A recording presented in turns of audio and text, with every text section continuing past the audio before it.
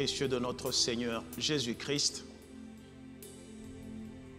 S'il y a quelqu'un qui respire ce matin, la Bible déclare que tout ce qui respire loue l'Éternel. Voilà pourquoi ce matin déjà, le jour où nous fêtons la dédicace de ce temple dans lequel nous nous trouvons depuis 2007, mais que nous avions dédicacé il y a déjà 14 ans, donc nous commençons la 15e année. Le Seigneur nous a soutenus. C'est pour cela qu'il mérite la gloire, il mérite les acclamations, il mérite l'honneur.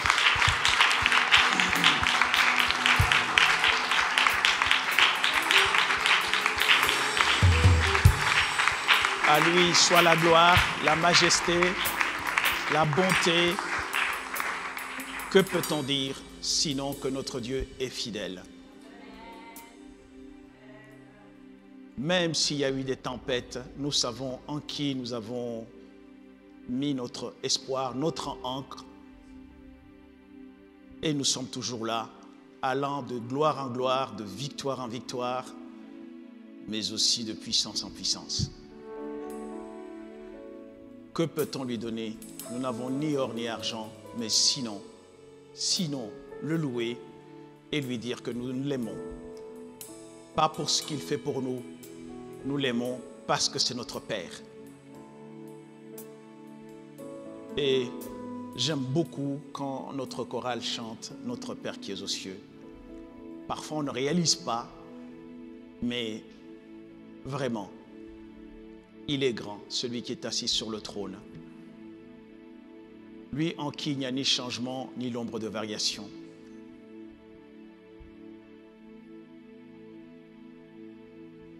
Est-ce qu'il y a une main ici qui peut l'acclamer, qui peut acclamer la présence du Saint-Esprit de Dieu?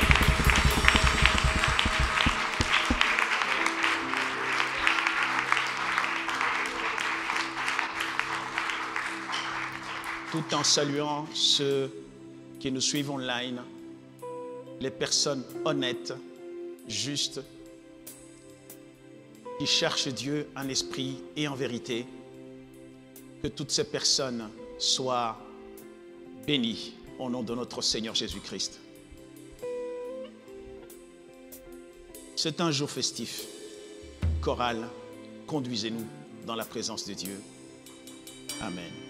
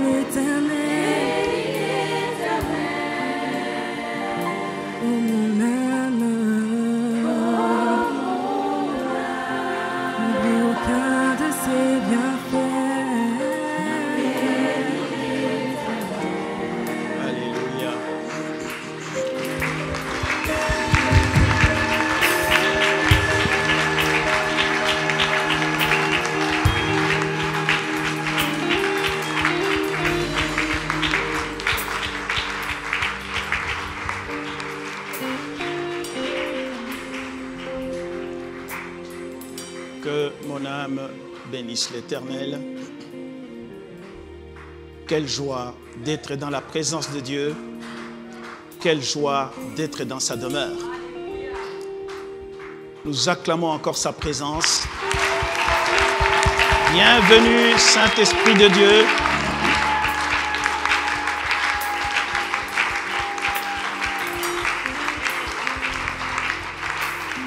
Bienvenue dans sa maison.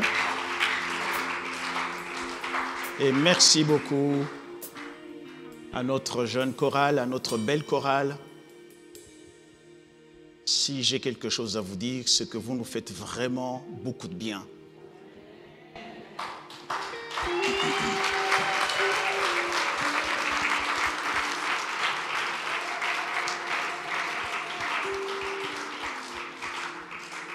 Et surtout, je le dirai jamais assez, un arbre ressuscite dans son fruit. Ça, c'est le fruit de l'arche.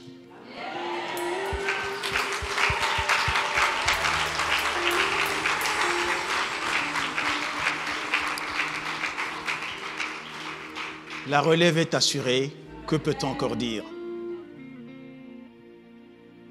Que le Seigneur vraiment prenne ce qu'il a mis en nous, qu'il les mette dans ses enfants, parce que ce sont les générations qui vont continuer à construire la vision. Vous déclare béni. Béni quand vous vous déplacez, béni quand vous mangez, béni quand vous travaillez, béni quand vous dormez, béni même si vous n'êtes pas conscient de la bénédiction.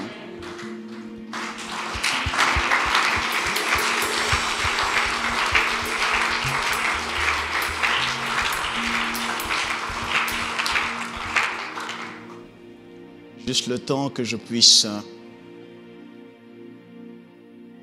vous exhorter, vous confier une méditation sur le temple et après, vous reviendrez continuer à nous conduire dans cette présence de Dieu. C'est une journée festive, ne soyez pas pressés.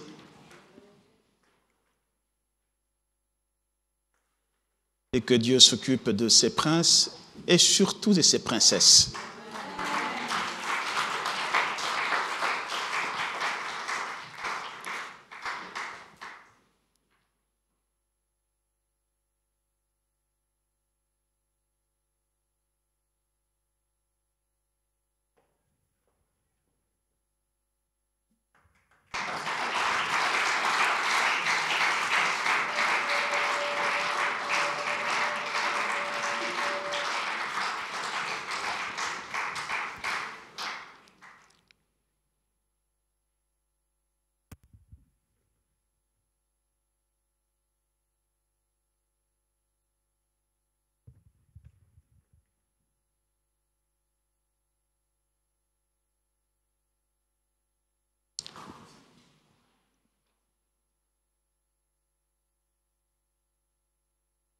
Amen. Je vais juste vous confier une méditation sur le temple, parce que nous n'avons pas beaucoup de temps aujourd'hui, étant entendu que nous sommes là pour fêter la dédicace de notre temple.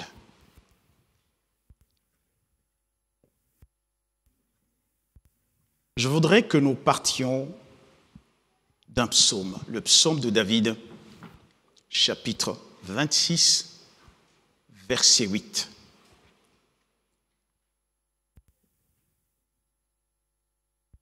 Voici ce que dit le psalmiste. Éternel, j'aime le séjour de ta maison, le lieu où ta gloire habite. Waouh Je répète, éternel, j'aime le séjour de ta maison, le lieu où ta gloire habite. D'un côté, la gloire, c'est l'émanation de sa personne.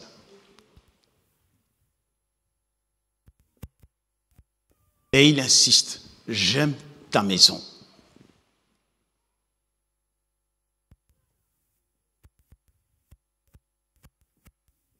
C'est son temple. C'est quoi le temple et quelle est son importance?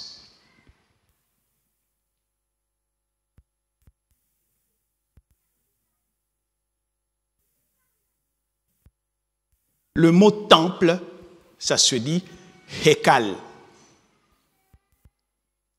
ou Hek est le palais. Mais le palais de qui? Al ou Elohim. Donc le temple veut dire le palais de Elohim. Le palais de Dieu. Avec tout ce que cela comporte.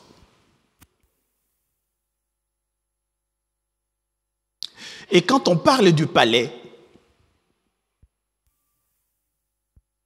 n'oubliez pas que c'est attaché à la royauté.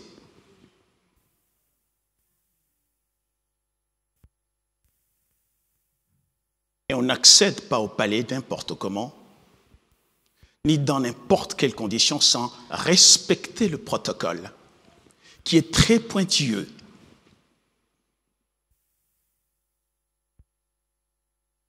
Nous verrons qu'il y a deux types de temples. Il y a le temple physique, tel que nous sommes, tel que nous sommes ici, dans cette maison. Mais il y a aussi le temple spirituel. Et il dit bien le lieu où ta gloire demeure. Là où il demeure, il y a sa gloire.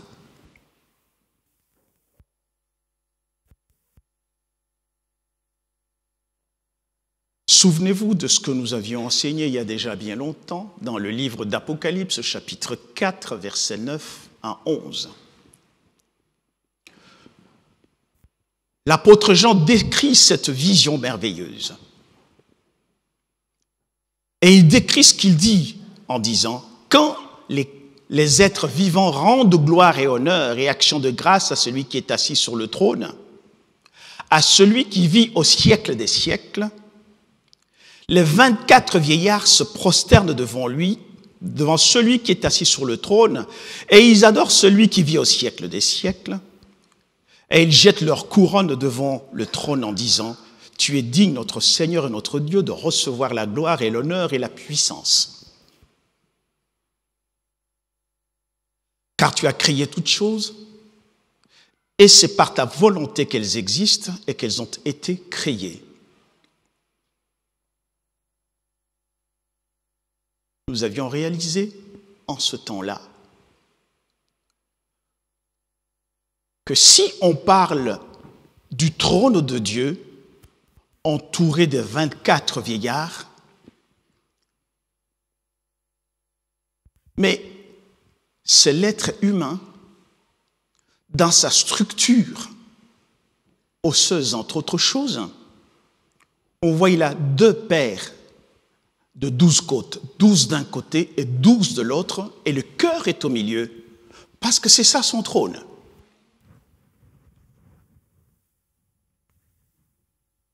Toute personne sur la terre est ainsi structurée. Donc nous sommes déjà censés être le trône de Dieu, son temple à lui, sa demeure.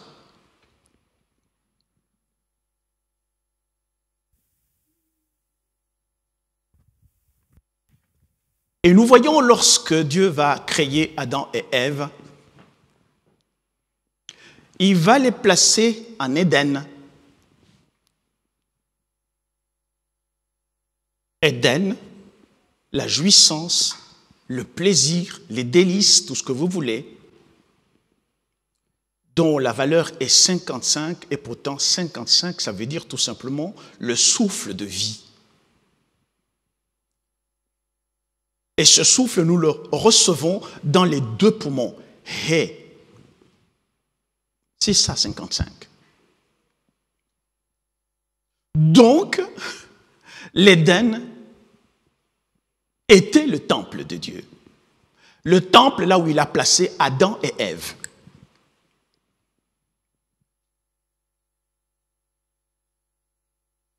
Pourquoi? Avec une vocation très simple.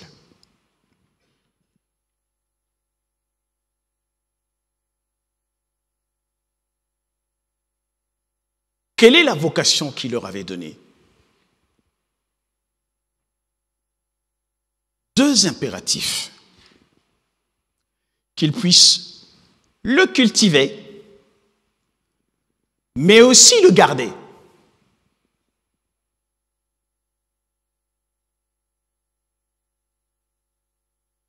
Waouh Cultiver. Mais c'est quoi alors qu'il avait déjà tout créé? Les plantes poussaient, les fruits étaient là. Qu'avait-il encore à faire? Mais c'est lorsque nous essayons d'examiner la parole nous découvrons très vite qu'en fait, cultiver, c'est vide et garder chamar.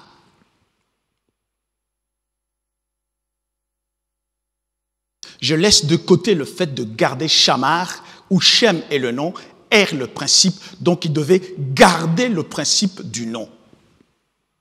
Parce que c'est dans chaque nom, qui n'est pas le nom biologique, que se trouve le programme pour lequel Dieu vous a donné ce corps. Donc il vous a formé. C'est là qu'il met l'information. Et ça, il fallait le garder. Mais les avides, très vite nous découvrons que là-dedans se trouve le mot avoda. Et l'avoda, c'est le service du temple, justement.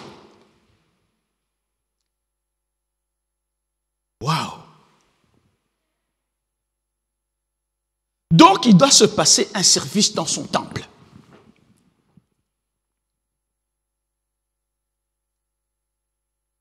Écoutez, vous les archers.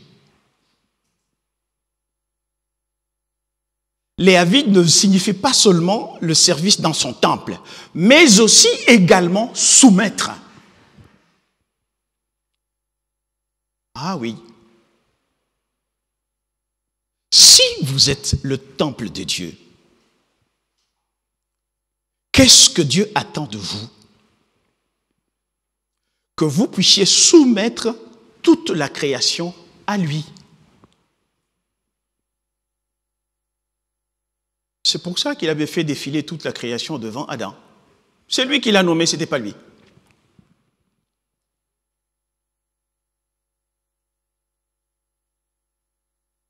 Donc, en tant que temple de Dieu, chacun doit être conscient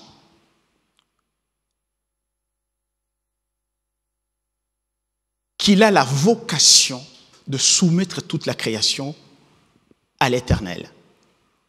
Mais soumettre toute la création à l'Éternel, ça veut dire aussi adorer, rendre un culte à l'Éternel. Et lorsqu'on rend un culte à l'Éternel, d'où à ce moment-là, la voda, av, le Père, da, la porte, c'est-à-dire on a accès à lui.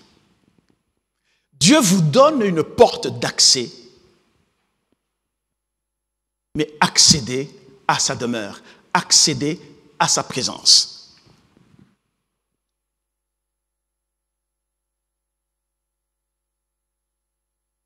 C'est ainsi qu'il y a une portion de l'Écriture que nous devons parfaitement bien comprendre. Dans le livre de la Genèse, chapitre 2, verset 5, il est dit ceci.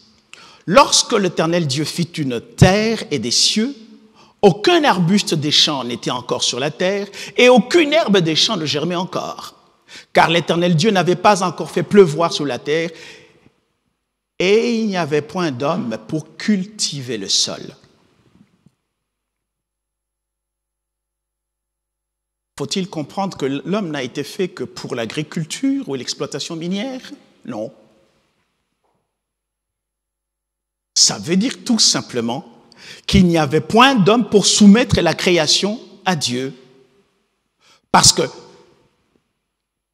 lorsqu'on est soumis à Dieu, lorsqu'on soumet la création à Dieu, eh bien, à partir de cet instant, on est soustrait de servitude de la terre.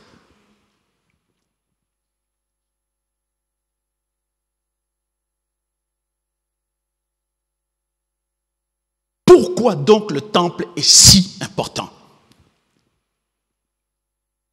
Il est tellement important que parmi les quatre Pâques, il y en a une qui est la Pâque du nouveau temple, où Jésus purifie le sanctuaire provisoire et annonce le sanctuaire définitif, son corps ressuscité. Jean chapitre 2, verset 13, verset 23, chapitre 4, verset 21 jusqu'à verset 24.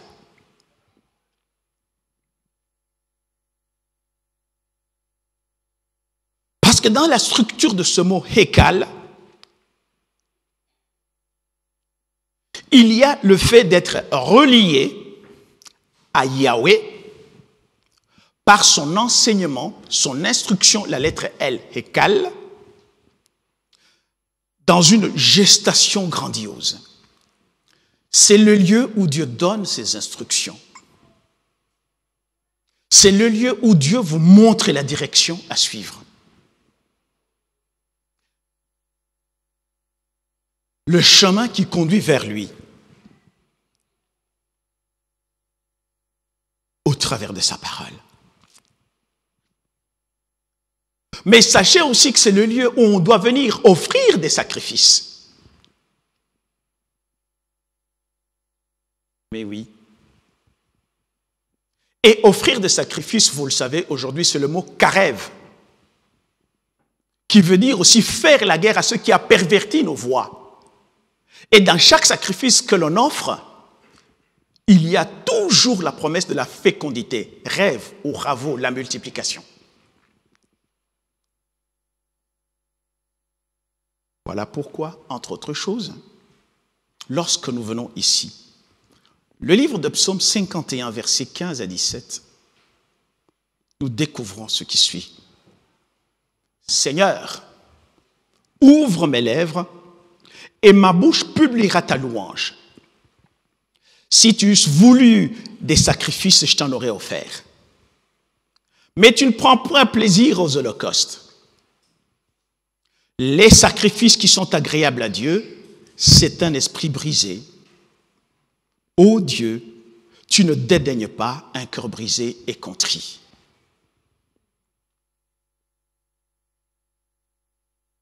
Ce qui paraît contradictoire, c'est que plusieurs fois dans la Bible, Dieu demandait qu'on puisse offrir les sacrifices d'animaux.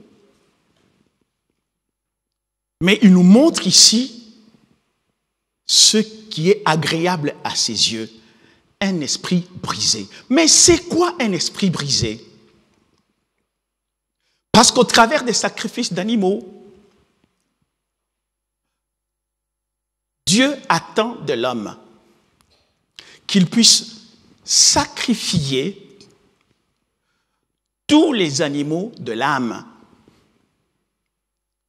Ces animaux intérieurs qui font que vous vous mettez en colère comme un lion, comme un léopard, vous déchirez tout. Vous sortez parfois des paroles dures qui blessent. Il dit, amenez ça sur l'autel de sacrifice. Détruisez-les. Parce que son temple doit rester pur. Un esprit brisé, c'est cet esprit qui a déjà sacrifié toutes ces choses. Et je parle ici du temple spirituel que nous sommes. Et la parole déclare que tu ne dédaignes pas un esprit brisé et contrit.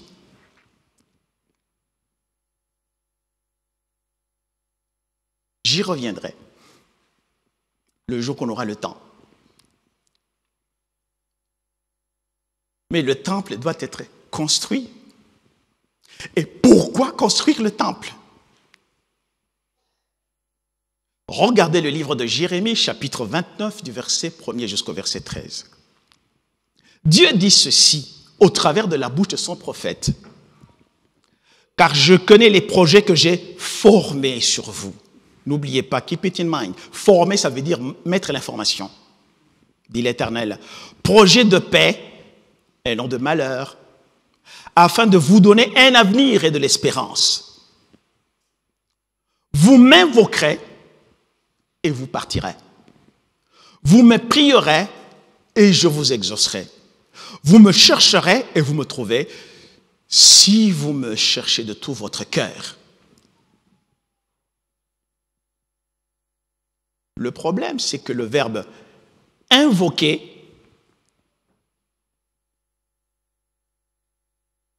ça se dit Zachar. D'où vient le nom Zacharie Ou d'abord la lettre Z, dans son symbolisme, ça veut dire l'arme, écart l'agneau.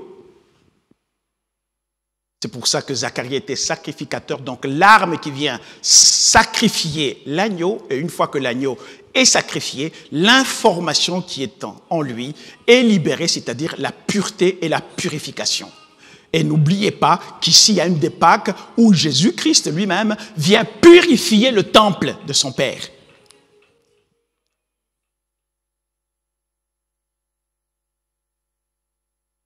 Zachar, sa valeur, c'est 227. Et 227, si vous réduisez cela, vous arrivez à la valeur de Beit, qui est la maison. Donc on n'invoque pas Dieu n'importe où, ni n'importe comment. On invoque Dieu dans son temple.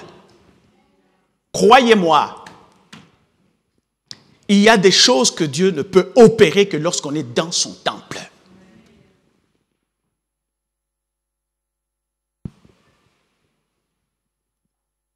Avez-vous remarqué que lorsqu'on va lui amener une personne qui est un homme qui avait la main sèche, la manière, le mode opératoire de Jésus-Christ, c'est que, un, il l'amène dans le synagogue, c'est-à-dire le lieu sacré. Deux, c'était le jour de Shabbat. Il choisit le temps sacré. C'est là qu'il va guérir cette personne.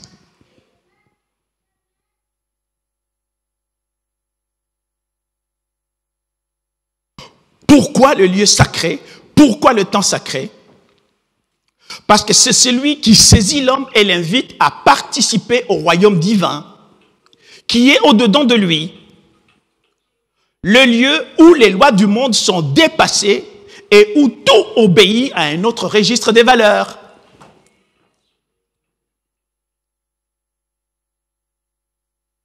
Il y a une interférence de la musique, hein. c'est désagréable, je voudrais que ça soit supprimé.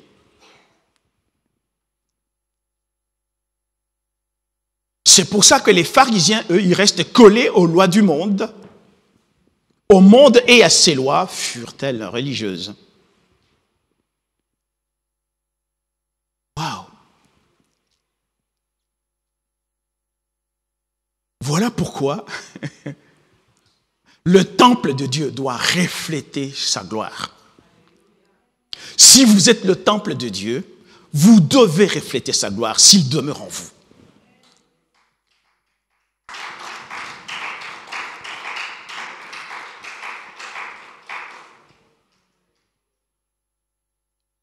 1 Corinthiens chapitre 3 versets 16 à 17. Ne savez-vous pas que vous êtes le temple de Dieu et que l'Esprit de Dieu habite en vous? Si quelqu'un détruit le temple de Dieu, Dieu le détruira, car le temple de Dieu est saint et c'est ce que vous êtes. Mais le mot saint, c'est kadosh. Mais oui, mais la sainteté veut dire aussi la distance. Et qui dit distance sous-entend automatiquement le respect.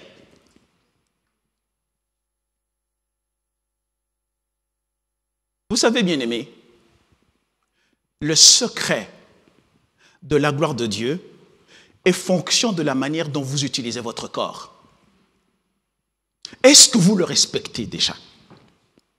Et qu'est-ce qu'il y a à l'intérieur de vous-même? Dans son palais à lui.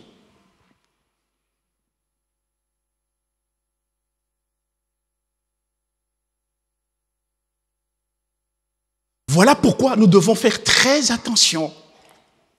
Souvent, nous ne sommes pas conscients de celui qui est censé demeurer en nous. On dit n'importe quoi, on fait n'importe quoi, et à ce moment-là, il considère que vous ne le respectez même pas.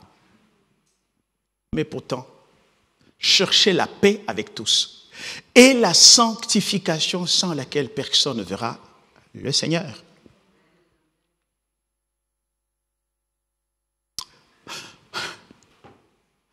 Savez-vous qu'il est écrit que c'est de l'abondance du cœur qui est censé être le, le, trône de Dieu que la bouche parle?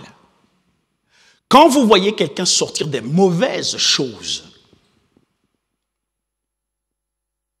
il y a à se poser la question de savoir si Dieu demeure dans cette personne, si cette personne est le temple de Dieu, est la demeure de Dieu. Vous savez, bien aimé, parfois quand on regarde le psaume chapitre 5, versets 8 à 9, nous découvrons ceci. Par exemple, Éternel, conduis-moi dans ta justice à cause de mes ennemis, aplanis ta voix sous mes pas, car il y a point de sincérité dans leur bouche. Leur cœur est rempli de malice. Leur gosier est un sépulcre ouvert. Ils ont sur la langue des paroles flatteuses. Parfois, c'est étonnant. Vous pouvez voir quelqu'un qui a été dans une église 10 ans, 15 ans, 20, 40 et davantage, dès qu'il ouvre la bouche, vous vous posez la question si cette personne a déjà été chrétien, même pendant 30 secondes.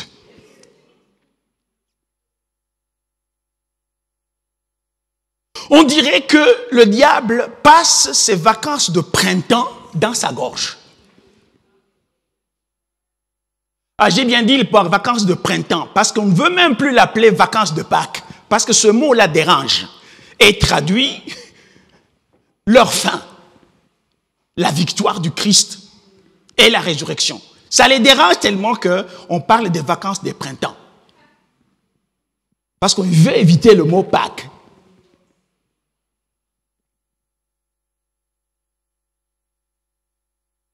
Des mensonges, des calomnies, de méchanceté qu'ils vomissent en longueur de journée. Et puis quelqu'un comme ça va t'envoyer un SMS. Parce que vous voyez qu'ils ont en plus des langues, des paroles flatteuses. En disant, suis-moi. Donc une telle personne t'envoie une invitation pour aller avec elle en enfer. Tout droit.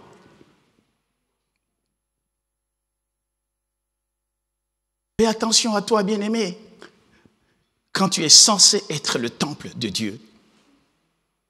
Et ce n'est même pas parce que quelqu'un prêche, ce n'est même pas parce que quelqu'un prophétise, ce n'est même pas parce que quelqu'un chasse les démons. Non. Eh, bien-aimé, ici, quand vous venez, c'est pour entendre le message de Dieu, pas le massage.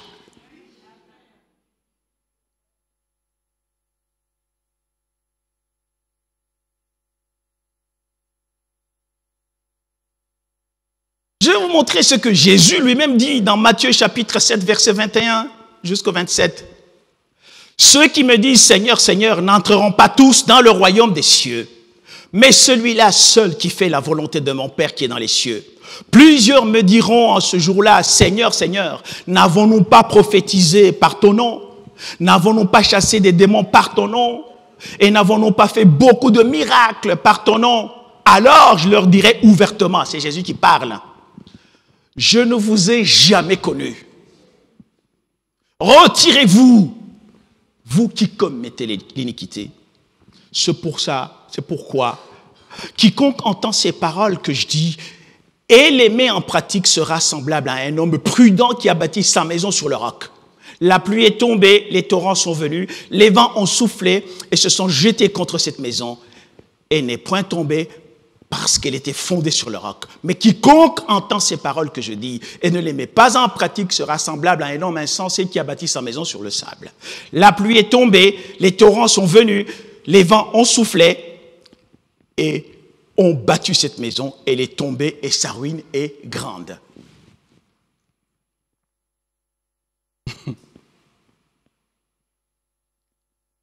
Que celui qui est debout prenne garde à ne pas tomber. Ici, c'est Jésus qui parle. D'où vient que, parce que j'ai reçu Jésus comme Seigneur et Sauveur, parce que je vais évangéliser, et même parce que je donne le massage au lieu de donner le message, que tout est acquis.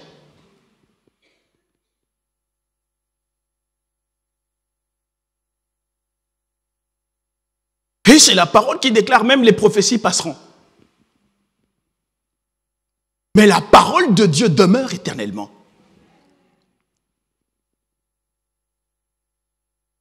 Voilà pourquoi 2 Corinthiens chapitre 6 verset 16 à 18, je poursuis cette méditation que je vous convie.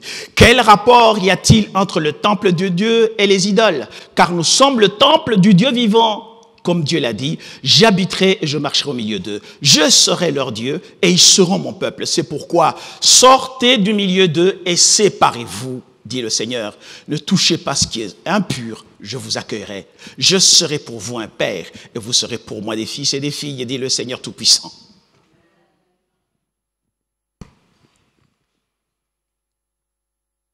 Je suis en train de lire la parole.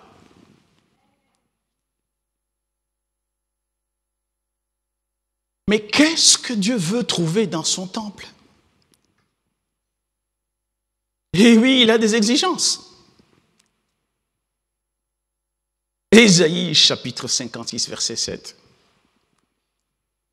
Je les amènerai sur ma montagne sainte et je les réjouirai dans ma maison de prière.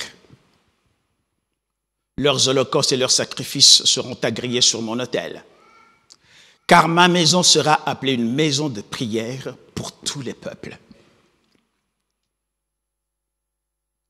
Êtes-vous un homme de prière? Êtes-vous une femme de prière? Et même, on ne prie pas n'importe comment.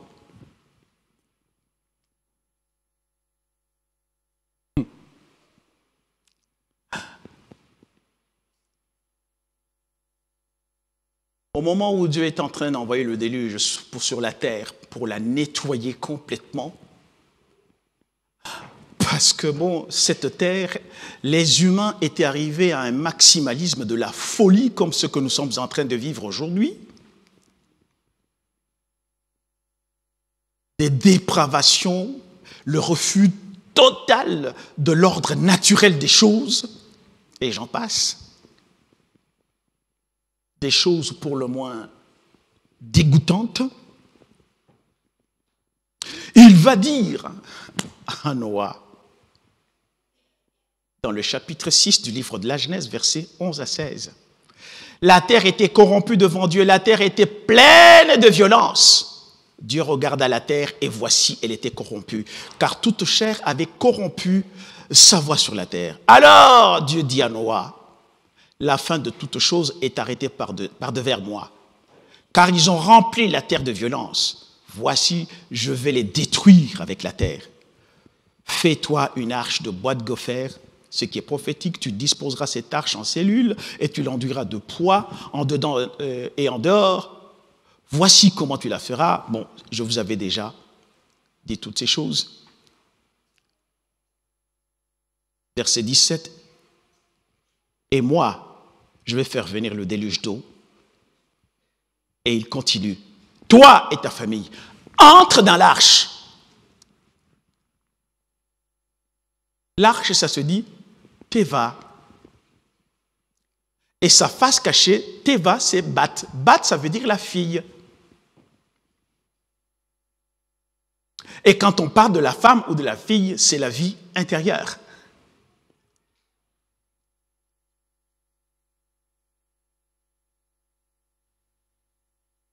Mais Teva, ça veut dire aussi la syllabe. Donc c'est une invitation à vivre et être pénétré de chaque mot de la prière, dite avec amour et avec ferveur, pour que le maître de la moisson envoie des ouvriers. C'est en cela qu'on peut être la maison de l'Éternel. Le temple du Dieu vivant. L'endroit où il veut s'asseoir. Et quand le cœur bat, le tien, je pense qu'il est en train de battre à ce moment. Il rend encore grâce à celui qui est assis sur le trône. Et il jette sa couronne en racontant sa gloire, jour et nuit, à tout instant, sans s'arrêter. C'est la pompe la plus puissante de toute la terre. Dans l'existence d'une personne, elle pompe l'équivalent des 84 milliards de litres. Vous vous rendez compte? De sang qui circule dans tout le corps. Bien assis.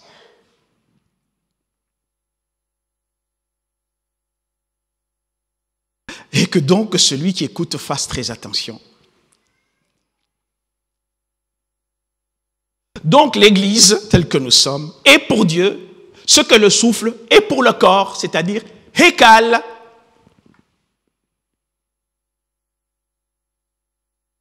Ah, j'aime la parole qui dit que le zèle de la maison de mon Père me dévore. Moi, je ne peux pas rester à la maison. Et chaque fois, je sens ce feu-là qui m'entraîne. Il y a des moments où euh, je me dis, je vais faire des petites courses. Je me retrouve, je suis au 222. D'abord, j'étais en train d'aller quelque part. Comment ça se fait que je me trouve ici? Le Z de la maison de mon père me dévore.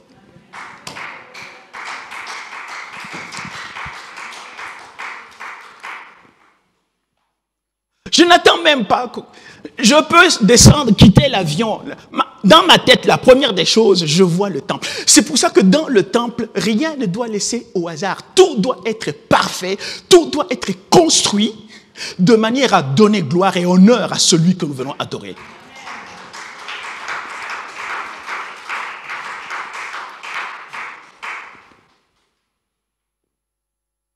Voilà pourquoi le temple lui-même doit être dédicacé à Dieu. si vous êtes le temple de Dieu, est-ce que votre cœur est dédicacé à Dieu? Parce que c'est lorsqu'il est dédicacé qu'on reçoit sa lumière, Hanouka. Qu'on peut fêter vraiment la lumière, mais la fête de la lumière, ce sera vers la fin de l'année ici. Qu'on reçoit l'instruction, qu'on reçoit aussi le renouvellement. C'est ça, toutes ces conditions d'être dédicacé. Et le jour que nous avions dédicacé ce temple, nous avions dit ceci. Un vieillard qui viendrait ici, quelqu'un qui est malade ou quelqu'un qui est enchaîné, quand il entrera dans ce temple, il trouvera la consolation, il trouvera la guérison, il trouvera la libération.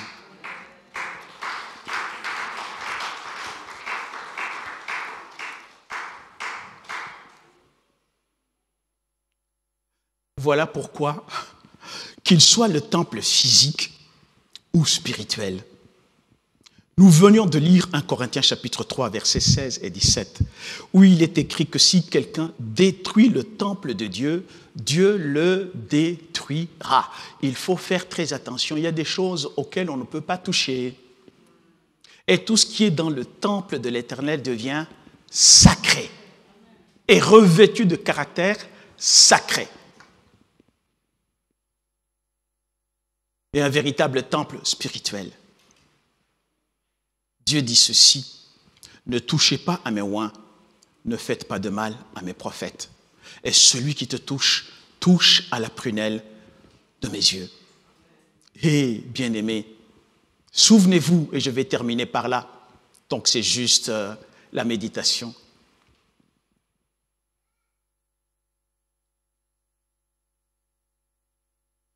Que la dédicace du temple, c'est la victoire de l'esprit sur la violence. Je répète, la victoire de l'esprit sur la violence. C'est pour ça que nous devons lutter et tout pénétrer par la force de l'amour, pas par les rapports de force. Voilà pourquoi il est dit que l'amour est plus fort que la mort. Et surtout, j'ai bien dit que je vais terminer par là, le mot malédiction n'est jamais le fait d'un Dieu qui punit, c'est toujours le fait de quelqu'un qui, visité par Dieu, refuse de se soumettre, refuse de le suivre. C'est un choix. Et Dieu dit, je mets le choix devant vous. La vie ou la mort. Choisis la vie. Et celui qui attend les paroles et qui obéit à ces paroles, il se pouvoit automatiquement de la force d'accomplissement. Ce qui est merveilleux. Ah, bien-aimé dans le Seigneur, je vois maintenant ce Dieu quand il va placer Adam et Ève dans le jardin entendaient le souffle de vie pour qu'il puisse s'accomplir. Ah oui, il avait placé, il avait mis, il avait planté. Planté, ça se dit natoa. Una, c'est l'errance. Et la lettre T, dont la vocation est l'accomplissement. Quel est le message qui vous est communiqué? C'est que toute errance ne peut prendre fin que lorsqu'on s'accomplit. Pour celui qui ne comprend pas, quand quelqu'un est encore célibataire, ses yeux sont toujours comme ça, comme un cheval. Le jour qu'il trouve l'âme sœur, son errance s'arrête parce qu'il s'accomplit.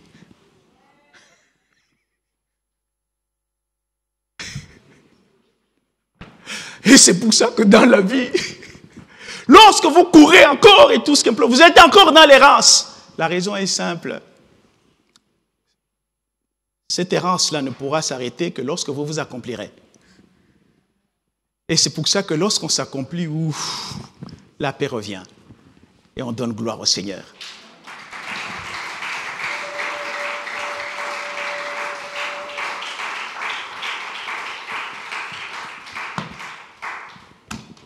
Bien-aimés dans le Seigneur, c'est un jour de dédicace de notre temple. Ça fait des années que nous sommes ici. Le Seigneur nous a soutenus. Le Seigneur nous a manifesté son amour. Que la gloire, la puissance, la magnificence lui reviennent à lui et à lui seul. Quant à vous, vous avez compris le sens du temple. C'est l'endroit où Dieu vient vous instruire, le lieu où il demeure, le lieu où il manifeste sa gloire. Et à vous de vous poser aussi la question, est-ce que je vois la gloire de Dieu? Si vous ne la voyez pas, revoyez votre état de temple, Hekal, la demeure de Dieu, et commencez déjà à vous débarrasser de tout ce qu'il n'aime pas voir dans son temple. Et la gloire de Dieu va se manifester. Voilà pourquoi il est dit aussi dans le livre d'Ecclésiaste, j'aimerais que ce soit lu et projeté correctement, chapitre 9, verset 8, parce que ça me vient à l'esprit comme ça, et l'Esprit de Dieu est en train de parler à cet instant précis. Que dit donc l'Écriture? Ecclésiaste, chapitre 9, verset 8.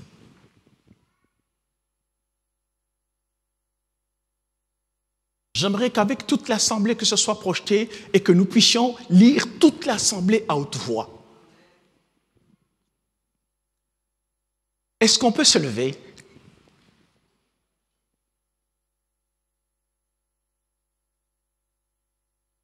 Comme un seul homme, comme un seul corps, nous proclamons la parole de Dieu. Qu'en tout temps, tes vêtements soient blancs et que l'huile ne manque point sur sa tête. Regarde quelqu'un, dis-lui, Hekal, la demeure de Dieu. Soyez bénis au nom de Jésus. Amen.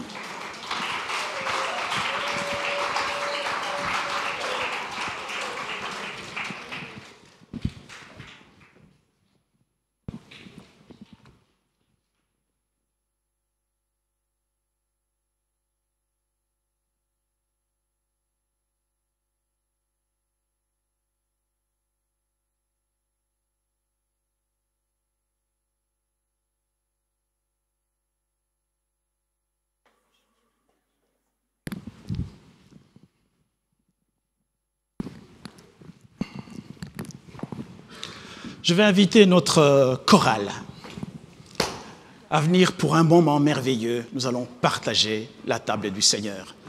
Heureux les invités au noces de l'agneau.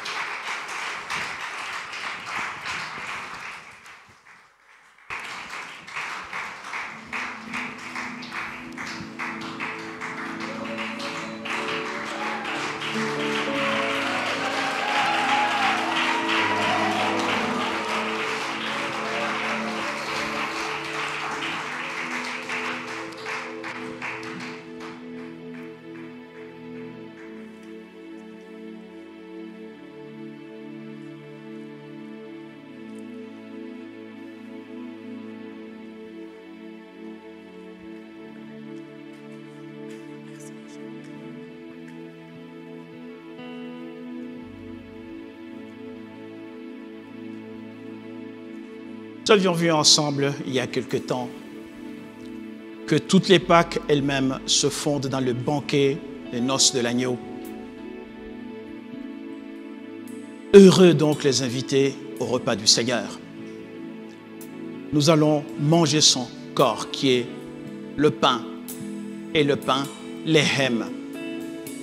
La lettre L, la direction ou le but, veut dire que c'est une nourriture dont le but est de vous donner le ham, la force.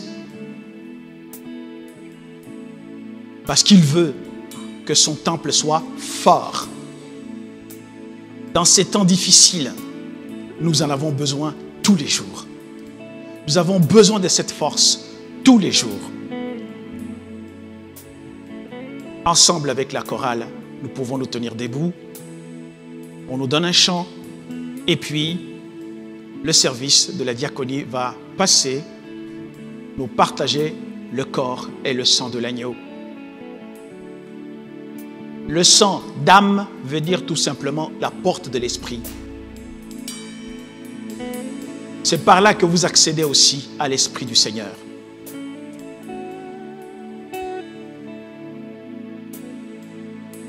Chorale nous donne un chant et pendant ce temps, on distribue le corps et le sang du Seigneur.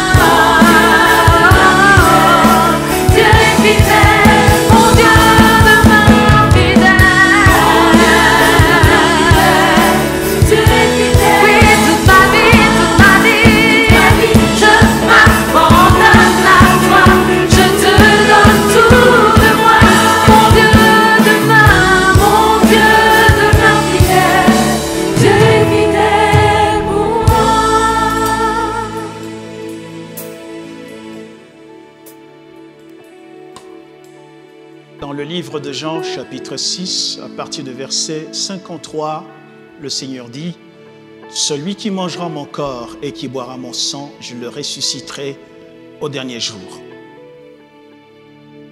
Donc c'est une marque que nous recevons de sa part. Et l'apôtre Paul dit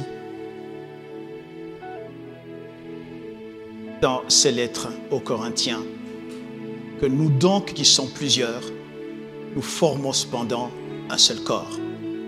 Et tous ensemble, participant au corps du Seigneur, nous pouvons manger le corps du Seigneur.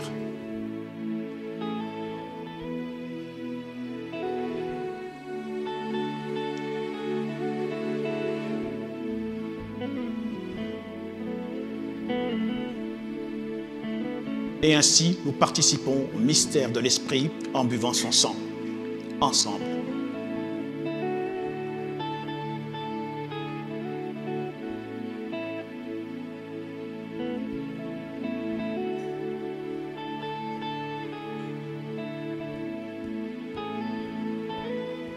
Soyons tous bénis au nom de notre Seigneur Jésus-Christ. Amen.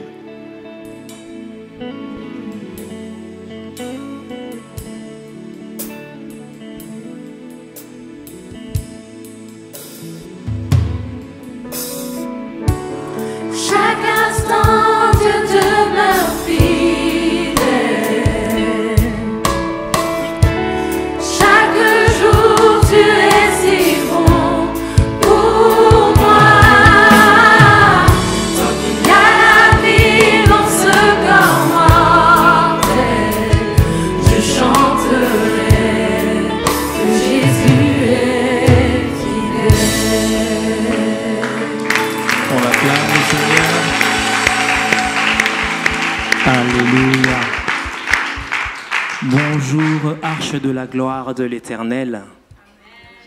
Joyeuse fête de dédicace. Aujourd'hui, c'est un jour de fête. Amen. Papa Jacques a dit, nous sommes le temple de Dieu.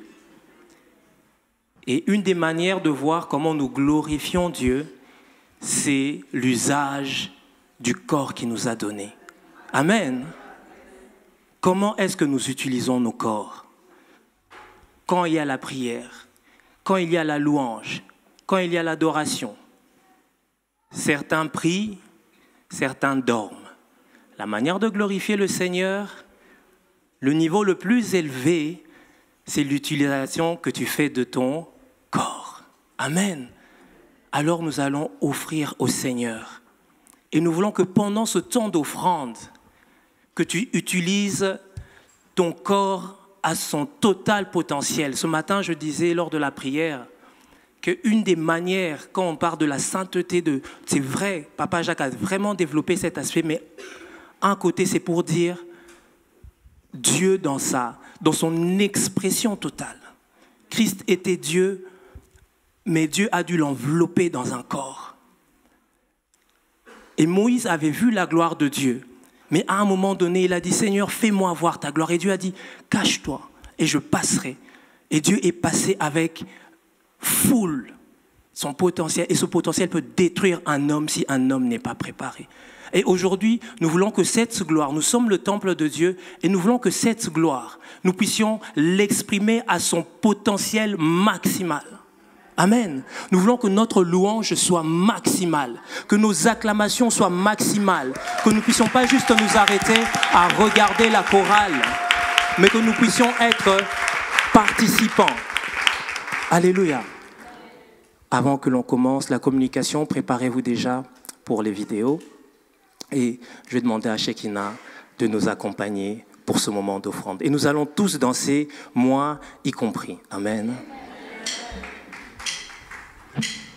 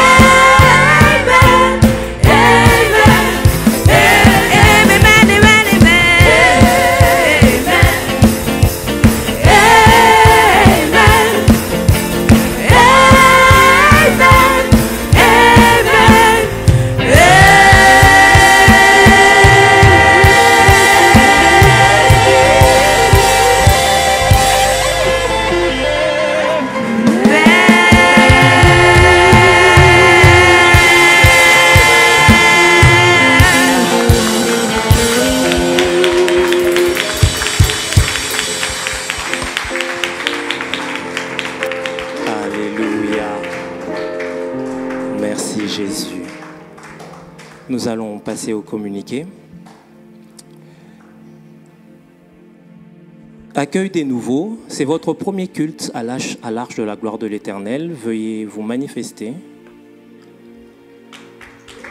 Welcome, bienvenue. Il y a un service du protocole et d'accueil qui sera chargé de vous présenter l'Église à l'arrière de ce temple. Programme hebdomadaire, le mardi de 18h à 20h, il y a intercession et prière pour le salut des âmes. Jeudi, de 18h à 20h, formation des serviteurs. Samedi, le 13 mai, il y a la réunion des responsables de 15h à 17h. Dimanche, notre culte de 10h à midi. Toujours dimanche prochain à 14h, il y a une sortie évangélisation et je vais laisser notre bien-aimée Jocelyne nous en parler.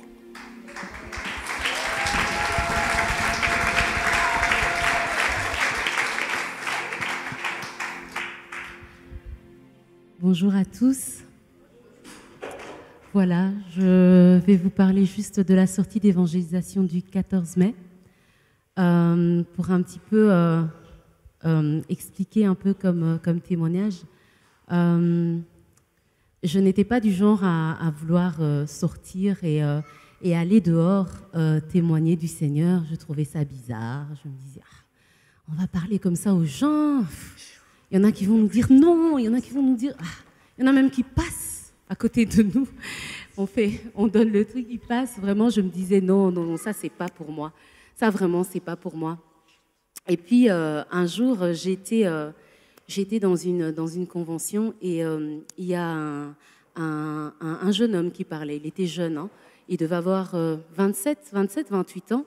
Et il parlait, il disait. Euh, on se donne des excuses pour ne pas aller évangéliser.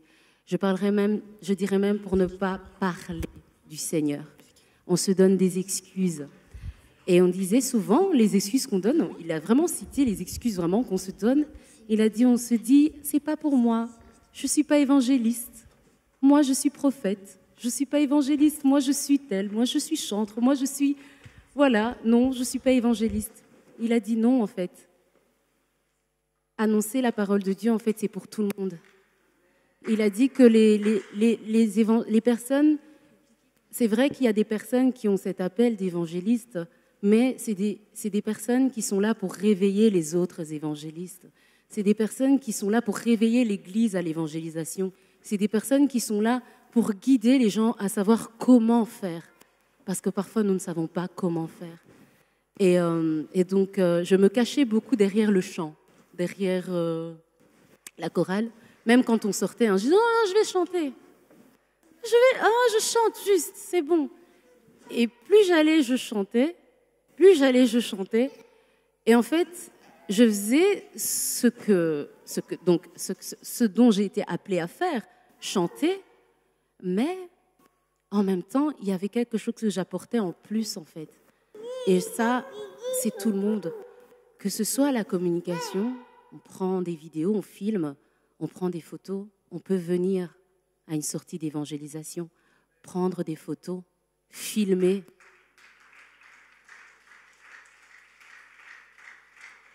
En tant qu'intercesseur, on peut venir à une sortie d'évangélisation, prier. En tant que chantre, on peut venir à une, à une sortie d'évangélisation, chanter. Et même si on ne sait pas quoi faire, juste la présence, juste la présence de Dieu en nous. On a dit qu'on était le temple. Nous sommes le temple. Rien que la présence de Dieu en nous, on est là. Et il y a une atmosphère qui change en fait. L'atmosphère change juste par notre, par notre présence. Alors je voulais vraiment, vraiment nous inviter. C'est vrai, franchement, c'est vrai. Je parle aux jeunes surtout, même à tout le monde. C'est pas évident. On est là au début, oh, on va faire quoi, on va faire comment? Mais le, l'esprit de groupe, le fait qu'on est ensemble en fait, c'est ça qui fait en fait que ça fait une force. On n'a plus honte en fait. Et le Seigneur nous dit, n'ayez pas honte de lui. On ne doit pas avoir honte de celui qu'on aime. Parler, ça peut juste être donner un, donner un petit flyer, un petit décret en disant, voilà, c'est pour vous. Comme maman Félie, parfois je l'entends faire. C'est juste pour vous. D'autre, c'est juste pour vous, rien d'autre. Et c'est vraiment, soyons nous-mêmes en fait aussi. On n'est pas obligé de parler comme un tel ou comme un tel, juste soyons nous-mêmes. Et vraiment, je voulais vraiment nous inviter à cette sortie d'évangélisation spéciale, fête des mères. Nous allons aller donner des roses aux femmes pour leur apporter le bonheur. Et peut-être qu'on rencontrera même un homme, on ne sait pas, on lui donnera une rose pour sa femme. Voilà, c'était tout. Voilà, je vous invite vraiment à cette sortie d'évangélisation. Merci Jocelyne. Voilà, soyez bénis. Merci Jocelyne. Comme elle a dit, vous savez, l'évangélisation, ce n'est pas évident lorsque nous pensons que c'est nous qui évangélisons. Galates 2.20 dit, J'ai été crucifié avec Christ. Ici je vis, ce n'est plus moi qui vis, c'est Christ qui vit au travers de moi. Amen. Donc lorsqu'on va évangéliser, si on sent qu'il y a une résistance à l'intérieur de nous, c'est notre moi qui parle et notre moi doit mourir pour que nous puissions vivre pour Christ. Et quand on arrive à cet état de conscience, comme l'apôtre nous l'enseigne, l'évangélisation devient une vie. Lorsqu'on sort, on évangélise. Lorsqu'on est au travail, on évangélise. Ça devient un mode de vie. Amen. Voilà. Nous continuons avec les églises de maison à Charleroi chez le frère Danny Kitoko et à Liedekerk chez les anciens Roland et Volana. Autre programme du mois, le samedi 20 mai, nous avons la réunion de la jeunesse de 11h à 13h, la journée porte ouverte à l'église, de maison de Liedekerk chez les anciens Roland et Volana. À ce titre, nous allons vous donner plus d'informations les dimanches qui vont suivre et sur le groupe de l'église. Réunion des frères, ce samedi 20, de 16h à 18h aussi. Le samedi 27 mai, nous avons la réunion des sœurs de 15h à 17h. Et le secteur communication nous rappelle qu'à la fin du culte, lorsque nous allons sortir, dans le couloir, tout au fond, il y a un coin photo. Pour vraiment immortaliser, pour tous ceux qui ont pris la peine d'avoir les belles chemises, les belles robes que nous avons, nous allons, nous allons vraiment demander, ne partez pas à la fin, c'est notre fête. On ne quitte pas sa maison le jour de son anniversaire, je suis désolé. Si on se considère archi vrai, on reste fêter tous ensemble. Et ce coin de photos, ça va nous permettre de prendre des photos avec l'apôtre, avec les pasteurs, vraiment des photos en groupe avec l'uniforme. Même si vous n'avez pas l'uniforme, vous êtes les bienvenus. Ça doit pas être, euh, on ne doit pas rejeter. Non, non, vous avez pas. Vous venez, c'est la famille. Et nous voulons remercier le secteur communication parce qu'ils se sont vraiment donnés pour pouvoir réaliser les vidéos que nous allons voir. Mais il n'y a pas que eux. Il y a le secteur événementiel. Si, la responsable peut se mettre debout, nous allons... Vraiment, elle le mérite. Elle a mobilisé l'équipe. Elles sont dehors en train de, se poumonner. Tellement qu'elles ont travaillé, elles sont habillées vraiment euh, en tenue normale. Et juste en rappel, elles ont, euh, des, foulards autour. Quand j'ai vu ça, j'ai dit, oh Seigneur, merci pour ce sacrifice. Et nous remercions vraiment tous les secteurs. La chorale, vous avez vu, tout ce que l'on voit ici, ça ne s'est pas fait ce matin, non. C'est le résultat d'un travail. Il faut, il faut savoir apprécier les efforts que les personnes mettent aussi dans le service que nous faisons. Vraiment, nous remercions tous les secteurs, le protocole, la communication, tous les secteurs. Vraiment, c'est un jour d'anniversaire pour vous. Et voilà, nous allons passer à, à ce temps de vidéo. Je pense qu'il y aura des belles surprises qui nous sont réservées. Et si la communication est OK,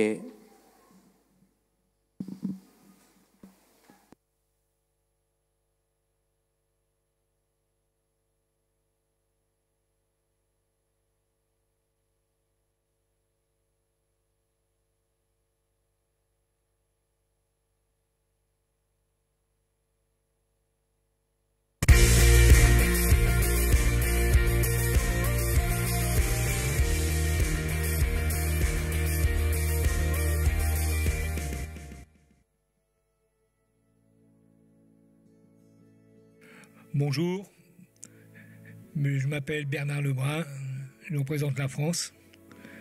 Je suis à l'Arche depuis l'année 2000. L'Arche, c'est ma maison. Elle m'a apporté beaucoup de choses. La paix, la sérénité, la guérison. Et je vous souhaite à vous tous une bonne fête de dédicace.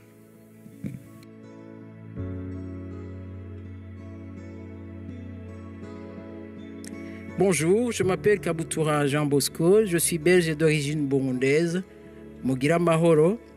Je suis à l'Arche de la gloire de l'Éternel depuis 2013, où j'ai été envoyé à travers un rêve que j'ai eu qui me disait Jacques Ilunga, Jacques Ilunga. C'est une famille spirituelle pour moi et on voit les résultats à travers euh, le baptême de mon fils euh, François Médard dernièrement, ainsi que l'acceptation de Jésus-Christ comme Seigneur et Sauveur par mon second fils Robert. Je tiens à vous souhaiter une bonne fête de la dédicace.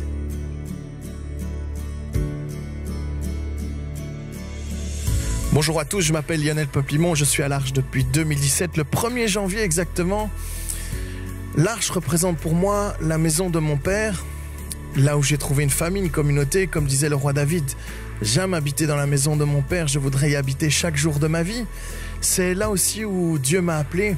D'ailleurs, Dieu t'appelle aussi à prêcher l'évangile. Je vous souhaite une excellente fête de la dédicace.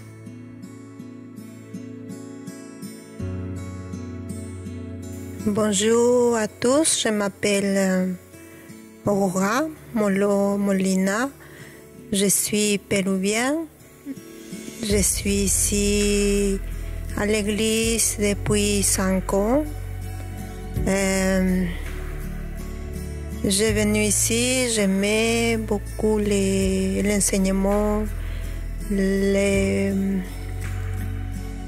euh, tout était bien et je restais ici déjà 5 ans.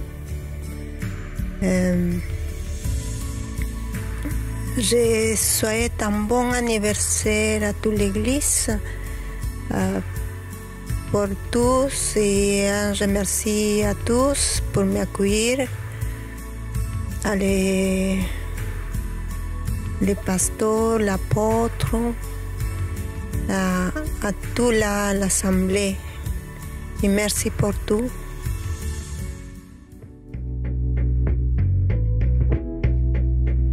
Bonjour à tous, hola a todos, buongiorno a tutti. Aujourd'hui, je représente l'Italie et l'Argentine. Si vous ne me connaissez pas, moi c'est Matteo Cascato. En fait, je suis à l'Arche depuis que je suis tout petit, mais ce que l'Arche m'a vraiment apporté, c'est d'être fondé sur le rock. Et ça, c'était un petit clin d'œil à Pasteur Jean-Paul. Et je vous souhaite en cette journée importante à toutes et à tous une bonne fête de la dédicace.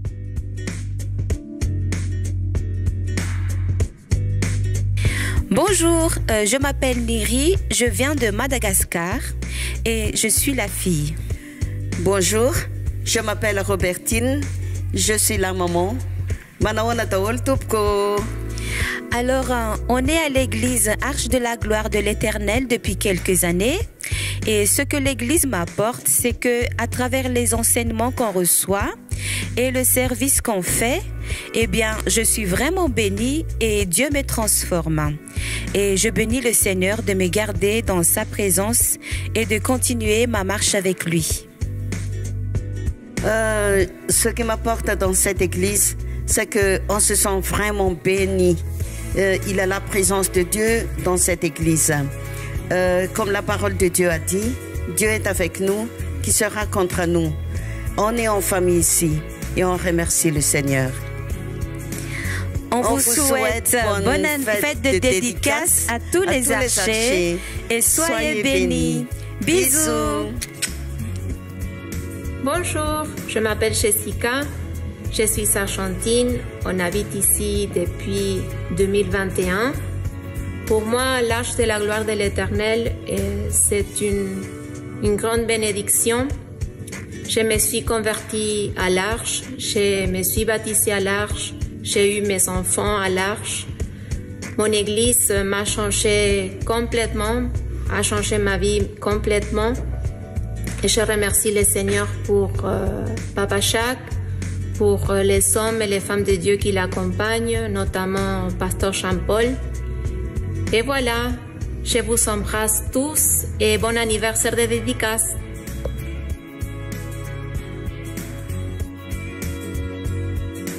Shalom, shalom, peuple dédié, shalom les archers partout où vous vous trouvez à l'air là. Mbote mbote banana nzambe, c'est comment Bozwami.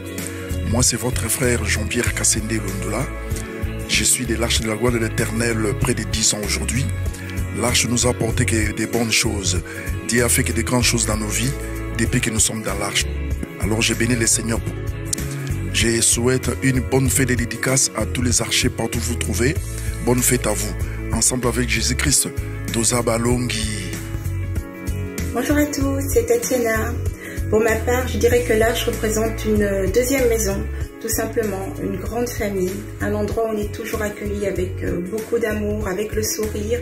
C'est vraiment toujours une joie de vous voir, de vous retrouver. Euh, pour ma part, je sais que j'ai un caractère plutôt timide, un peu introverti et que du coup, je pense que je peux paraître distante parfois. Néanmoins, je tenais à vous dire que je vous aime tous très fort, que je vous porte vraiment dans mon cœur et que je vous considère vraiment, vraiment comme ma famille. Voilà. À tous les archers, je souhaite un excellent anniversaire. Bisous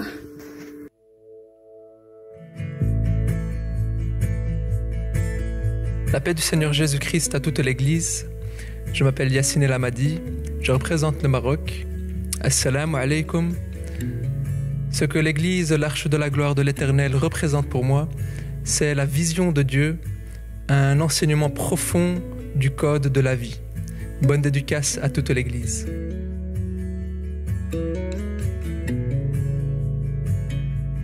Bonjour à tous, je m'appelle Carla Giglia, je suis italienne. Buongiorno a tutti.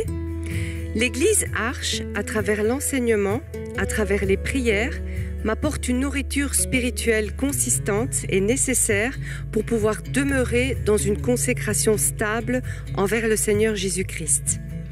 L'Église a également toujours été présente pour ma famille et moi lors des moments difficiles. Voilà, je souhaite à tous les archers un bon anniversaire de la dédicace. Bisous à tous. Bacioni a tutti.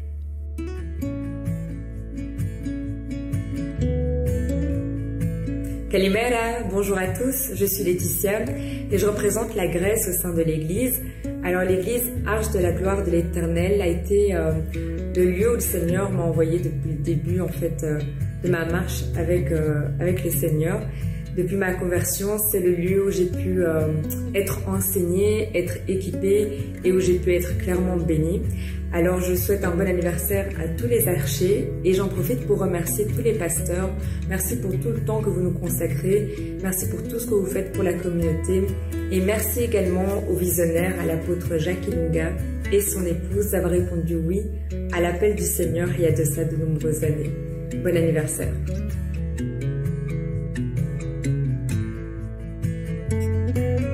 Bonjour à toutes et à tous, moi c'est Drin Zinlai. Aujourd'hui je représente l'Albanie, Tate Jeff. Ce que je pourrais dire en quelques mots euh, concernant l'Arche, c'est un endroit où je me souviens, j'ai posé les pieds lorsque j'avais 19 ans. Aujourd'hui j'en ai 33.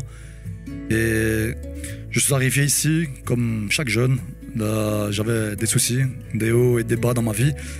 Et en fait, ce que j'ai retrouvé en ce lieu, je me souviens le premier jour où je suis arrivé, où j'ai vraiment posé mes pieds, c'est j'ai senti une présence, j'ai senti quelque chose que je pouvais pas expliquer. Et c'est comme si je voulais revenir au fur et à mesure des temps.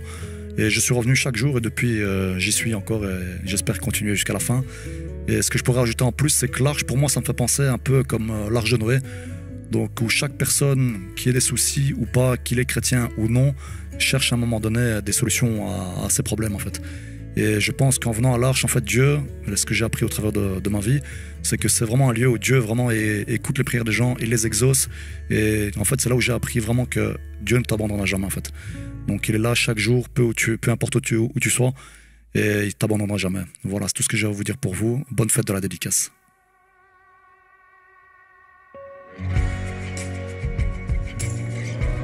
Bonjour à tous, je suis euh, Georgina Soares, bon dia a todos.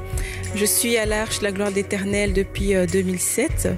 J'ai servi euh, au protocole, j'ai rencontré mon époux, bah, j'ai eu euh, mes enfants également, euh, euh, mes quatre enfants ici euh, à l'église.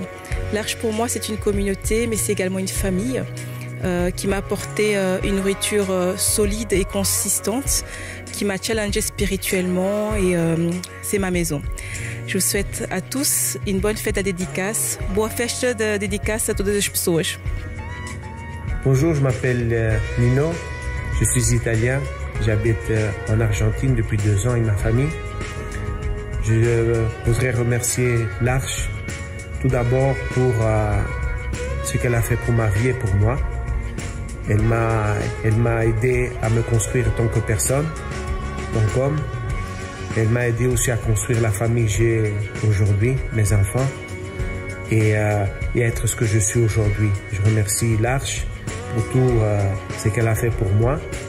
Je remercie particulièrement Papa Jacques, le pasteur Jean-Paul, l'ancien Bernard, qui m'ont aidé, qui m'ont suivi, qui m'ont euh, soutenu pendant toutes ces années. Et je vous remercie franchement beaucoup de tout ce que vous avez fait pour moi et pour ma maison et pour mes enfants et pour ma famille. Et, voilà, et en cette journée, je voudrais vous euh, souhaiter un joyeux anniversaire de dédicace euh, et on vous embrasse tous.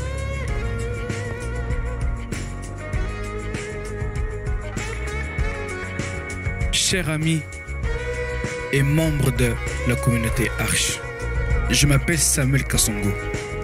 Aujourd'hui, nous célébrons un jour très spécial dans l'histoire de notre temple. C'est une occasion pour nous rassembler et réfléchir sur tout ce que notre temple a accompli pour nous au fil des ans. Nous avons construit cette église ensemble avec amour, dévotion et détermination. Nous avons travaillé dur pour créer un lieu de paix, de sérénité et de spiritualité pour tous. Notre bâtiment est un symbole de notre unité, de notre fraternité et de notre espoir.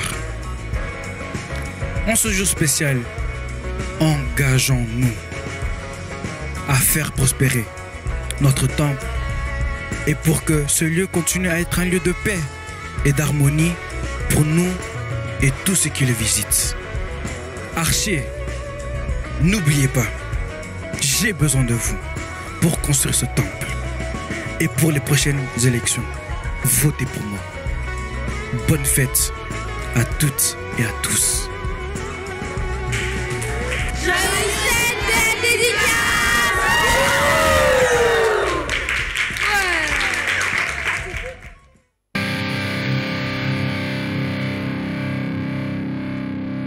C'est bon Euh, C'est bon là Micro, micro est bon? Très bien. La paix du Seigneur. Test, test.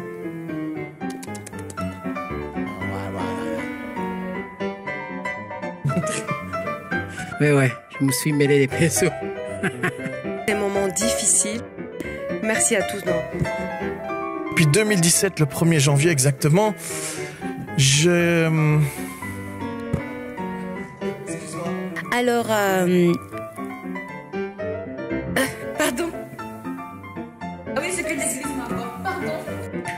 Notre bâtiment est un symbole, sy- symbole non.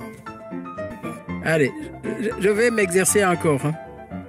En ce jour spécial, engageons et non non.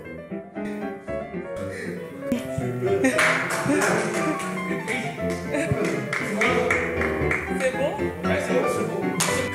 voilà, bonne fête à tous pour la dédicace. Merci.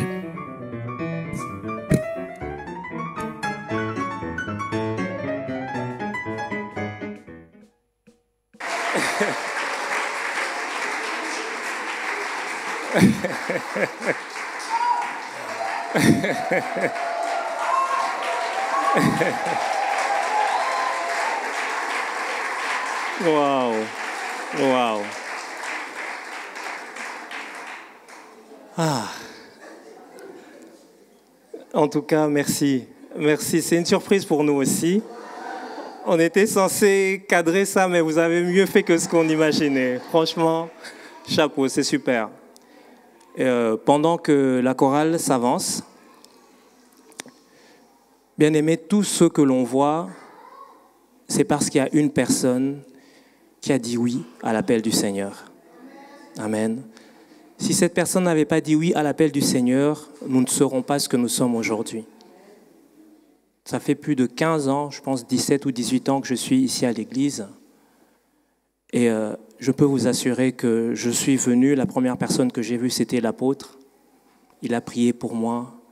Aujourd'hui, ce que je suis, je le dois en grande partie à sa contribution, à lui. Et je sais que je ne suis pas le seul dans ce cas. Il y a plusieurs en nous. Il a vraiment apporté le message et non le massage. C'est vrai qu'il nous masse, il est docile, il nous aime beaucoup. Mais quand il s'agit de la rigueur et de la parole de Dieu, nous savons que nous pouvons compter sur lui pour être dressés et être vraiment des serviteurs de Dieu au standard que Dieu attend. Amen. Donc je vais demander au pasteur Jean-Paul, si c'est possible, que l'on puisse prier pour Papa Jacques. Parce que il est notre papa. Comme je dis, l'année prochaine, vous aurez encore plus de surprises. Mais nous avons été chercher les archives de l'Arche. Et franchement, merci Papa Jacques d'avoir répondu à l'appel. Malgré vents et marées, tu t'es, tu t'es battu. Ce n'était pas facile, nous le savons. Mais aujourd'hui, ce que nous sommes, nous te le devons. Et c'est la moindre des choses que de prier parce que nous ne pourrons pas te donner de l'or, nous n'avons pas assez d'argent à t'offrir. Mais ce que nous pouvons faire pour toi, c'est juste te recommander entre les mains de Dieu. Alléluia. Voilà, c'est vraiment un privilège, mais je ne vais pas...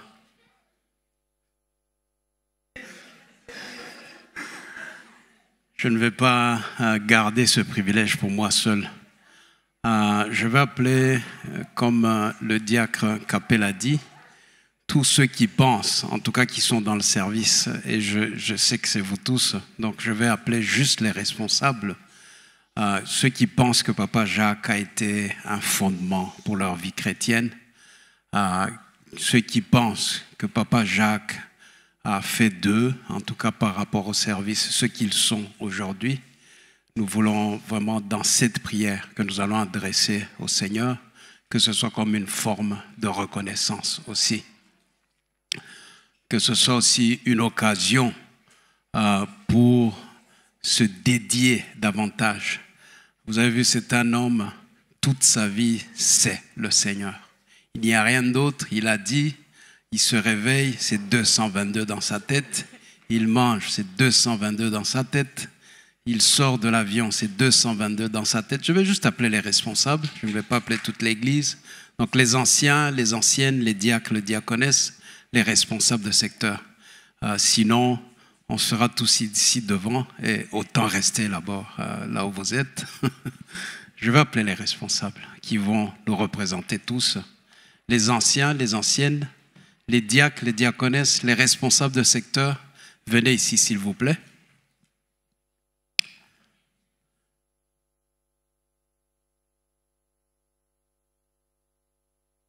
Nous allons demander à Papa Jacques, avec le respect qu'on lui doit, est-ce qu'il peut se lever? Et nous allons, vous Église aussi, vous lever. Vous allez tendre les mains vers lui et euh, sortez des paroles de bénédiction. Euh, ne sors pas une parole religieuse. Regarde ce qu'il y a dans ton cœur par rapport à l'homme de Dieu. et, et que ce soit cette prière-là que le Seigneur entende. Nous allons tous prier ensemble. Dis au Seigneur ce que Papa Jacques a été pour toi. Dis au Seigneur ce que tu veux que le Seigneur fasse de bien encore dans sa vie, dans sa famille, dans son ministère. Élevons la voix ensemble. Seigneur, nous commençons par te rendre grâce au Dieu Tout-Puissant. Père, nous sommes un peuple béni. Nous sommes, Seigneur, devenus une nation, celle de l'arche, parce que, Seigneur, il y a un homme que tu as appelé. Et il a entendu ta voix, il a obéi à ta voix, et Seigneur, oh Dieu, il a tout sacrifié parce que Seigneur, oh Dieu, il pouvait rendre témoignage de ce qu'il avait vu, de ce qu'il avait entendu. Et Seigneur, tu lui as montré cette grande vision de l'arche. Tu lui as montré des multitudes. Tu lui as montré des nations dont, Seigneur, tu l'avais établi comme capitaine. Et Seigneur, tu as montré qu'il amenait à bon port tous ceux qui acceptaient de le suivre, ô Dieu. Et Seigneur, nous sommes de cela. Tu l'as appelé à libérer les nations selon l'appel, selon l'alliance de feu, selon l'alliance de la parole que tu as faite avec lui. Et aujourd'hui, Seigneur, si nous sommes appelés libérateurs des nations, si des nations tout entières sont présentes, Seigneur, au Dieu vivant ici, c'est parce que, Seigneur, il a plu à ton serviteur de se donner entièrement, jour et nuit, sans ménager aucun effort, afin de faire de nous ce que nous sommes aujourd'hui. Nous le sommes par ta grâce, mais nous le sommes aussi, Seigneur, par le don de soi de cet homme, ô Dieu glorieux. Voilà pourquoi, Seigneur, tous ensemble, nous voulons, Seigneur, demander ta bénédiction. Une bénédiction multipliée, Seigneur, au Dieu Tout-Puissant, dans la vie de ton bien-aimé, celui que tu appelles ton ami. Oui, Seigneur, l'apôtre Jacques. Bénis le Seigneur, au-delà de ce qu'il peut penser, au-delà de ce qu'il peut demander.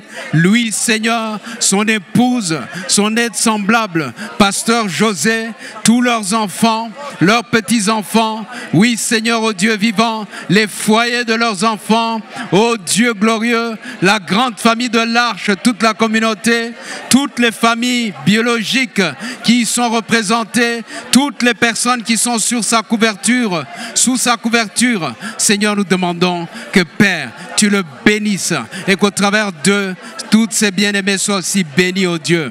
Vois, Seigneur, combien de générations il y a dans cette vision, il y a dans cette église. Oui, ô Dieu, aujourd'hui cet arbre peut reconnaître, Seigneur, les fruits qui se sont produits au travers de lui.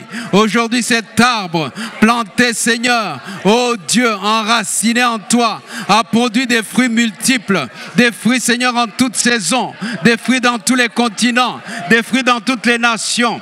Père, nous demandons ta grâce, nous demandons ta faveur, nous demandons ta protection, nous demandons, Seigneur, oh Dieu, que tu multiplies la joie dans son que Seigneur, sa paix, la paix que tu donnes, lui vienne de toi, oh Dieu, cette paix, qu'elle ne quitte jamais, oh Dieu glorieux. Merci, Seigneur. Nous avons encore besoin de lui, l'humanité a encore besoin de lui, les nations ont encore besoin de lui. Continue, Seigneur, de lui donner la force. La Bible dit que ceux qui se confient en l'éternel, oui, Seigneur, tu renouvelles leur force. Que, Seigneur, aujourd'hui encore, Papa Jacques prenne son envol comme l'aigle et que tu puisses le renouveler totalement. Nous bénissons ton nom, Seigneur. Nous te rendons grâce. Et Seigneur, nous voulons te promettre aussi de la même façon qu'il s'est dédicacé, qu'il s'est dédié, qu'il s'est consacré totalement à toi, nous qui sommes ses enfants, nous voulons faire autant, au Dieu. Parce que Seigneur, parmi ceux qui nous a communiqué, c'est cela aussi, au Dieu. Une consécration totale qui ne souffre d'aucune compromission, au Dieu glorieux. Oui, Seigneur, avec la pureté de l'évangile, avec la sincérité du cœur, avec le zèle, Seigneur, de ta maison, qu'ainsi, Seigneur, tous ces enfants soient, qu'ainsi tous nous soyons et que Seigneur, dans les années qui viennent, dans les temps qui viennent, Père, tu puisses, oh Dieu, opérer de grandes choses au travers de nous, comme tu l'as fait au travers de lui. Oui, Seigneur, nous terminons en disant, Seigneur, que tous ceux qui viendront dans cette maison, tous ceux qui ne sont pas encore là, tous ceux qui viendront, Seigneur, dans les jours à venir, dans les années à venir, si tu n'es pas encore là, puissent hériter aussi, Seigneur, de ce que tu as mis dans la vie de ton serviteur. Merci, ô Dieu glorieux. Voilà, Seigneur, pourquoi encore aujourd'hui. Aujourd'hui est un grand jour. Et aujourd'hui, Seigneur, nous bénissons ton nom. Aujourd'hui, nous t'acclamons en te rendant grâce. Béni soit ton saint nom. Tu es Dieu. Yahweh, sois béni. Elohim Adonai, sois béni. Sois élevé, le Dieu de nos pères, le Dieu d'Abraham, d'Isaac et de Jacob. Et nous n'avons pas peur de le dire. Le Dieu de papa Jacques, c'est celui-là que nous servons. Que ton nom soit toujours élevé, Yahweh, dans ce temple, dans ce écal. Merci Seigneur. Ce temple t'a été dédicacé et nous nous dédicassons, nous et nos enfants, à toi, au nom de Jésus. Amen, amen, amen. Merci, pasteur. Nous pouvons retourner à nos places et laisser les agneaux nous conduire dans ce temps.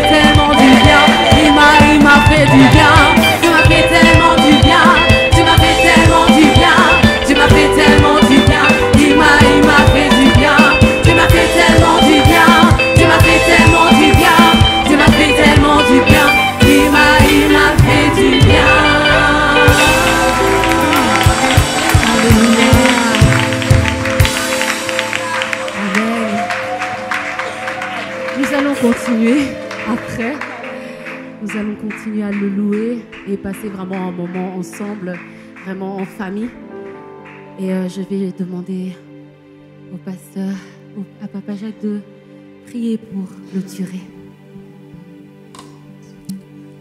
Amen. Nous sommes euh, pratiquement à la fin. Nous avons de nouvelles églises qui sont nées à Kolwezi, à 300 km de, de Lubumbashi.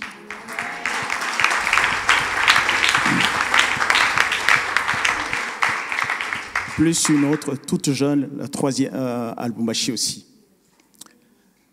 Et quand j'étais à Kolwezi, j'étais surpris parce que j'ai vu les hommes se lever et chanter.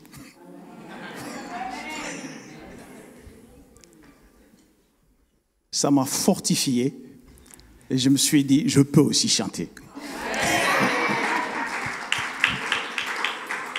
Alléluia. Et il n'est pas trop tard pour bien faire. Ce chant que les jeunes ont chanté, je l'avais entendu, j'étais encore un quatrième à l'école secondaire. Je peux le chanter. Mais bon, ce qui est certain, c'est que je ne chanterai pas comme Jocelyne. Alléluia. Mais Dieu au moins sait que c'est sincère.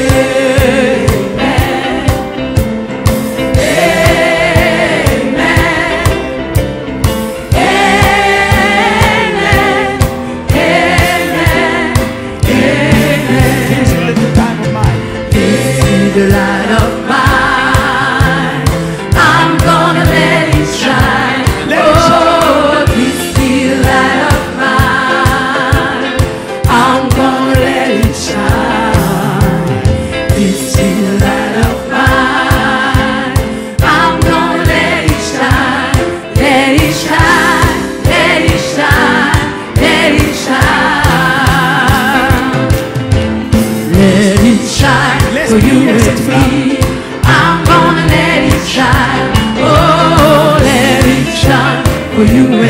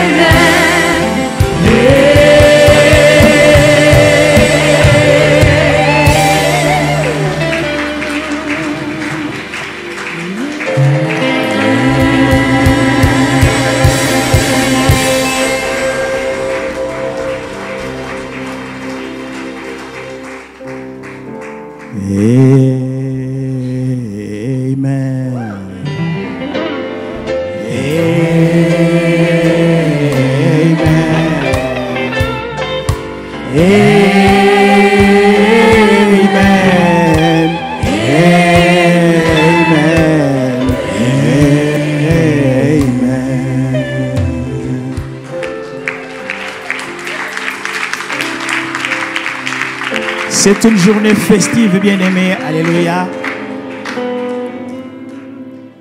Your love is kind. Your love is patient. You fill my heart with so much peace. Que tu sois en paix chez toi, que tu sois en paix dans ta maison. Amazing.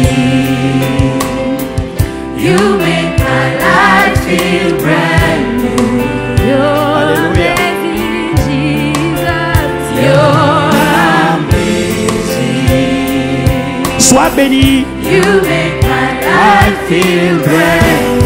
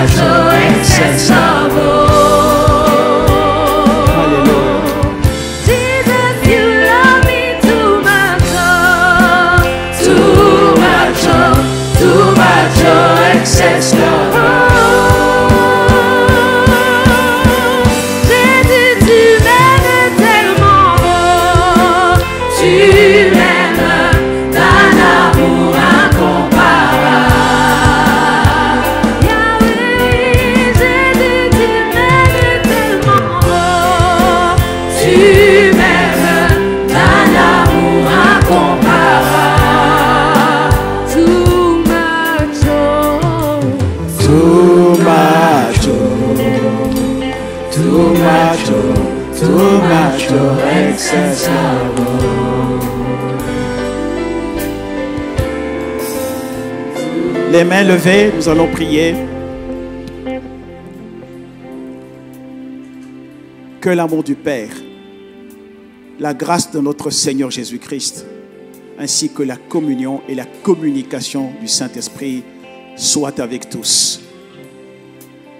Et ensemble, dans un chant, nous disons la, pri- la prière du Seigneur avec la chorale. Notre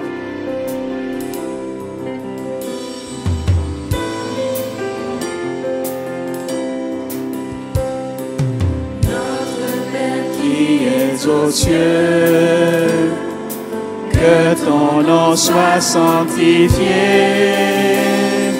que ton règne vienne, que ta volonté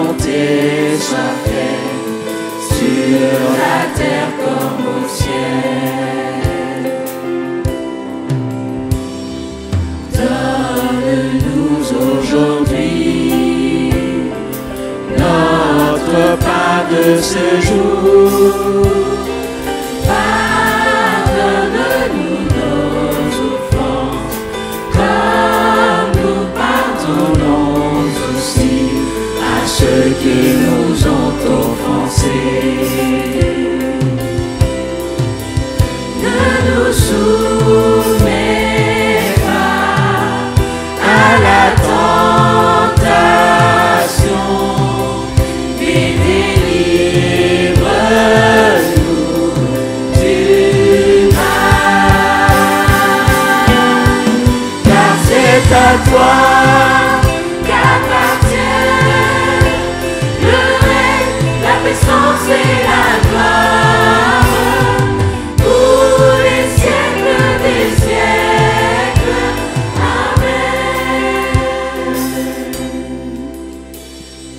Que la paix de notre Seigneur Jésus-Christ repose sur vous tous.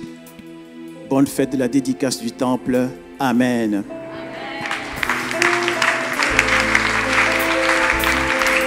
Amen. Avant de nous séparer, je vais m'acquitter d'un agréable devoir. Il y a une personne qui a passé beaucoup de temps au milieu de nous, très discrète, Pasteur Liliane. Je voudrais vraiment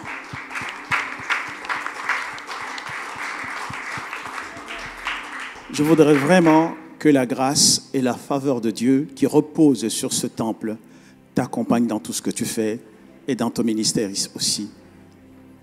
Ici, je voudrais quand même répandre sur toi une double bénédiction, celle du Père, mais aussi de serviteur. Est-ce que je peux t'inviter à venir ici?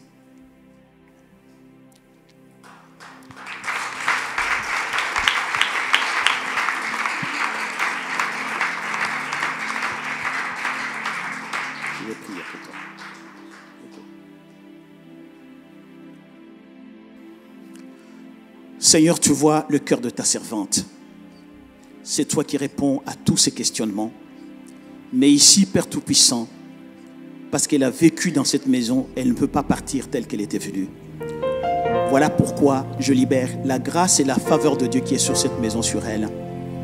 Tous ces besoins, tu les connais, Père Tout-Puissant. Et je voudrais Merci qu'elle d'avoir soit pris part revêtue à désormais d'un manteau tout spécial, Père Tout-Puissant, en réponse à tout ce que tu as fait pour elle volontaires, et que tu feras encore. partenariat à la plénitude